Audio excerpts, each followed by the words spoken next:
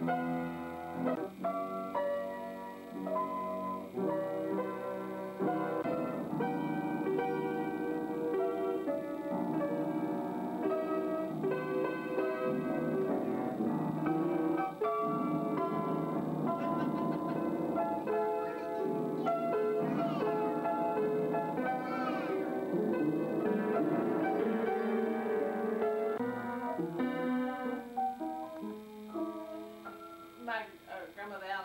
Now their faces are lighter.